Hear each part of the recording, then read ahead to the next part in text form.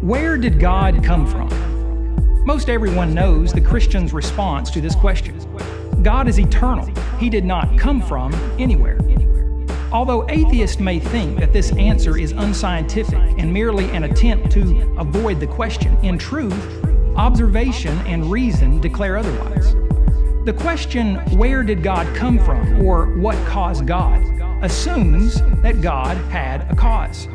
However, by definition, an eternal spirit, the everlasting God, cannot logically have a cause. Asking about God's cause is as incoherent as asking why matter is eternal. Matter's not eternal. Matter is no more an eternal essence without a cause than God is a physical being with a cause.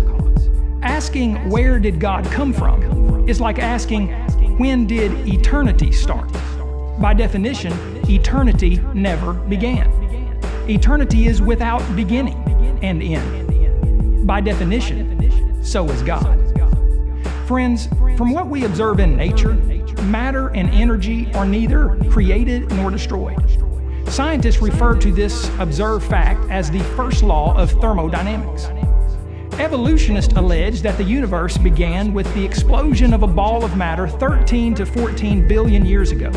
Yet they've never provided a reasonable explanation for the cause of this supposed original ball of matter.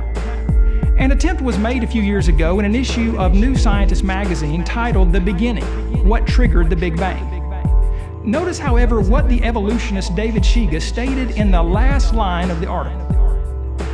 The quest to understand the origin of the universe seems destined to continue until we can answer a deeper question Why is there anything at all instead of nothing? The fact is, a logical, naturalistic explanation for the origin of the original ball of matter that supposedly led to the universe does not exist.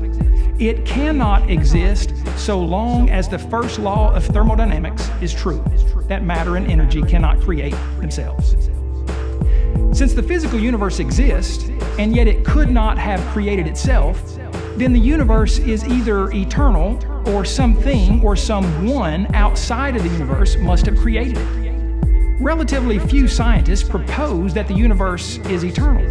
In fact, there would be no point in attempting to explain the beginning of the universe, with the Big Bang, for example, if scientists believed it's always existed.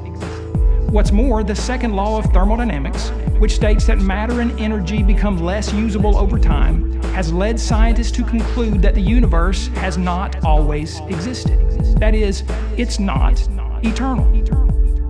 So, why don't the laws of thermodynamics or the laws of causality apply to God? Because these scientific laws, like all scientific laws, apply to what we find and study in nature. And again, by definition, God is not natural and thus is logically not subject to the laws of nature. If matter is not eternal and it cannot create itself, then the only logical conclusion is that something or someone outside of nature who is supernatural caused the material universe and everything in it. Christians call this someone the eternal God because he is from everlasting to everlasting.